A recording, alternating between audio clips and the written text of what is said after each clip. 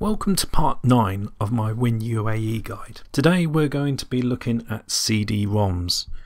You can now follow me on LBRY, which is an alternative video platform. Go to the link shown now and you can follow and even leave me a tip which will really help out the channel. Now back to the video. So I've downloaded a couple of ISO images and also NRG files which I believe was made by um, the Nero burn-in software. So it accepts multiple formats. So ISO seems to be the most popular format. So we've got those downloaded. Um, you can find them on the EAB FTP server. That's where I downloaded mine from. Uh, you have to have an account in order to download from those.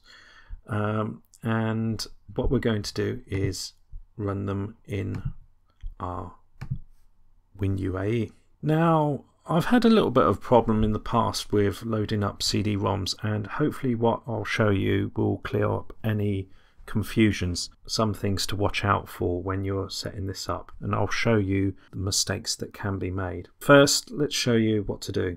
I'll go load up our configuration so this is a uh, basic Amiga 1200 with an 020 processor.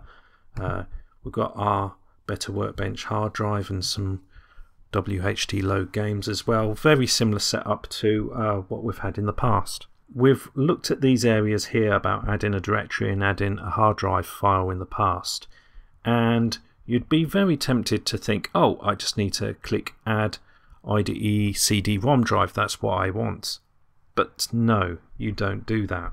Uh, first off, make sure that you haven't got the emulator running at all, and then make sure that you've got CDFS auto mount CD-ROM DVD drives ticked. Then go to select image. And then I'm going to select uh, the Amiga format CD click open and then you should see it listed there below. This should also change to image mode as well automatically. So with that ticked and this selected we can run start. And as you can see the CD drive is there. So we can browse to it. Uh, I know on this disk I had a few PD games on here. It had the uh, yeah the Deluxe Galaga on there, Pub Darts, Shepherd It was an interesting game. Um, so yeah, if we just load up load up a game, there we go. So we can exit out of that. So now I'm going to show you one of the issues that you might come across if you're trying to enable this. If we've got the emulator running and we press F12, at the moment you see that we haven't got the CDFS auto mount enabled. If I tick, up, tick that and then I select my CD-ROM again and click options and then I click OK no CDs appeared.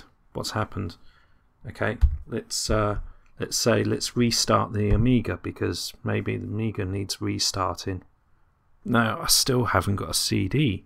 So you've got to make sure that you do a restart which closes the emulator completely and then make sure that you've got CDFS ticked before you start up the emulator and you got your CD drive um, your CD image selected click start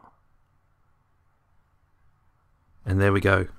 The CD drive has appeared. If you enjoyed this video please leave a like and subscribe if you wish to see more. And thanks for watching and I'll see you in the next video